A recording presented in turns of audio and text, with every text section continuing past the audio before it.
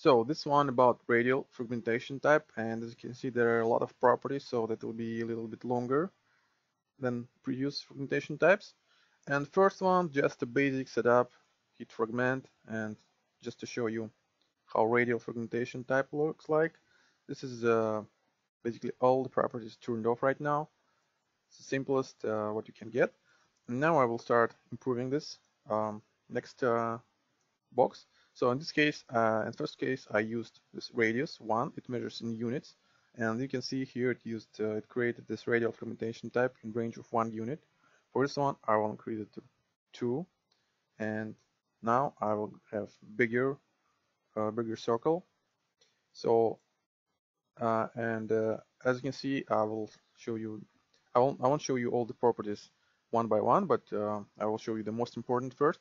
So in first, in this example here I used five rays, uh, five rings and 10 rays. So you can count everyone. You can see there are 10 this rays and five rings.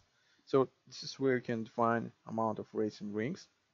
So for this example, I increased my amount of rings and rays. I said 10 rings and 20 rays.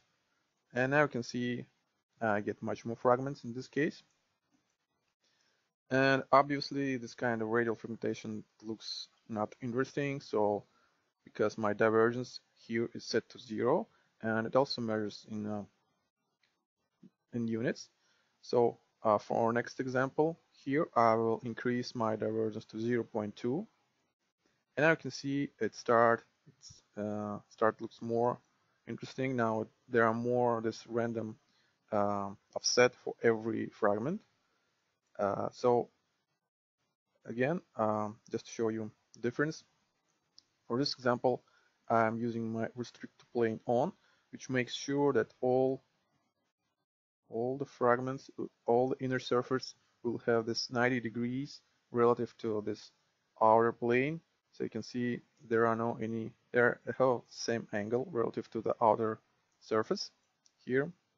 So for next example, I'm using, I will turn off my restricted plane here. It's off. So now you can see it, uh, all the fragments here inside start getting this uh, different angle for inner surface.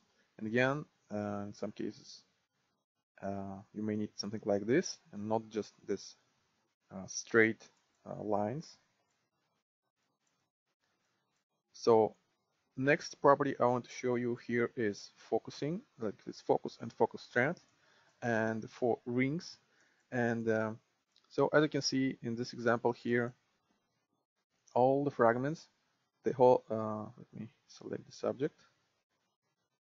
Okay, so you can see uh, my focus here is zero, which means uh, it's not, uh, it doesn't mean that it's not used because it defines uh, the range of focusing, but uh, my focus strength is zero, which means that this property is off by default, and it defines uh, the offset of your rings. And in this case, you can see that every uh, distance between all rings is the same. So again, it looks uh, not so interesting. So for this example here, I will change, uh, well again, I will just fragment it just to show you how it looks like with the same, uh, with turn off focusing uh, and some uh, divergence. And in this example, I will use my focus strength as 100, means it's uh, maximum focus strength you can get.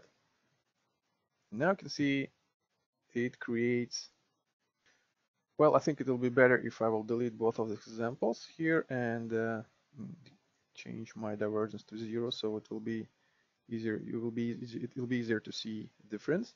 So this one again, my focus is turned off. And for this one, I will set my focus strength to 100 and my focus itself is zero, which means uh, that it will, well, as you can see now, it uh, creates more tiny fragments at the center and there are bigger, there's bigger distance between rings uh, here. So this is uh, what means focusing. It just uh, offsets all the rings closer to center but uh, also you can like in this example here uh, all the properties is the same but I set my focus to 100 which means I moved my focus from the center to the out of the circle to its edge. And in this case, it will create, as you can see, there are bigger distance between rings at the center and less distance here uh, at the edge of this circle.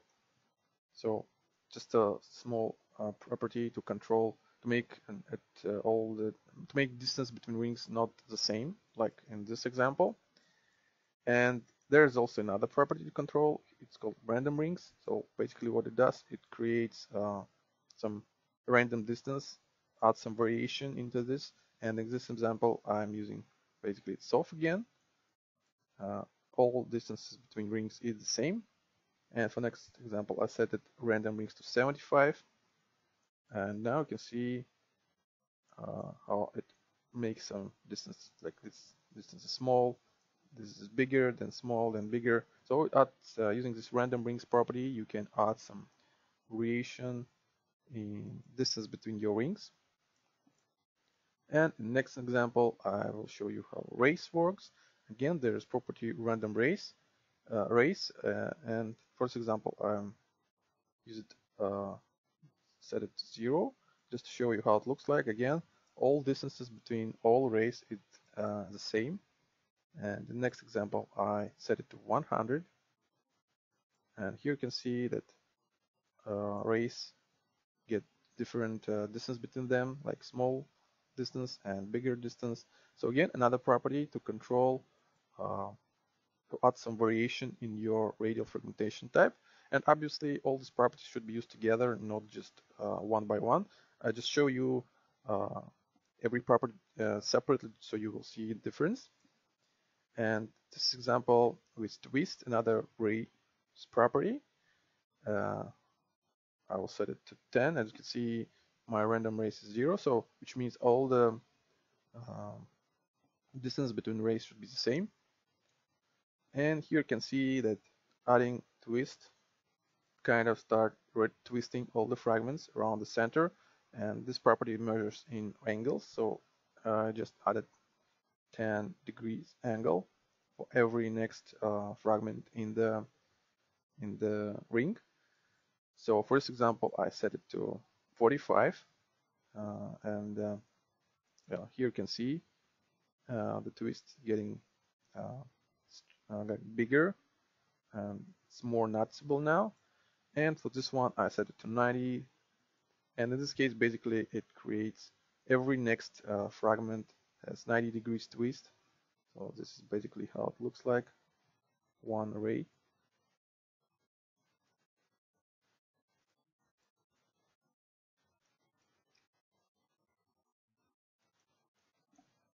Okay so another property I want to show you is this uh, center and easier to control it with this move uh, hand tool. So you need to turn on the show and as you can see in all um, previous examples uh, all fragmentation types they created radial fragmentation starting from the center of the object. This is because uh, uh, they use this center helper here. This is where can, how we can control. You need to turn on it and then you can move it at any point here. Fragment. Now you can see that it'll create radial fragmentation starting from this point. So we can move it. Also, it is important that radial fragmentation type is not only using position and direction, you also can rotate it. Let's say this way. And now you can see it creates fragments or relative to this point of view. So it's important what's your center position and angle for radial fragmentation type.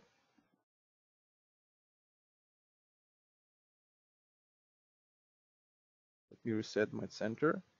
So I will I will add some variation. I will some focusing, random rays, decrease twist. Here we can see uh, radial fragmentation type all the properties used.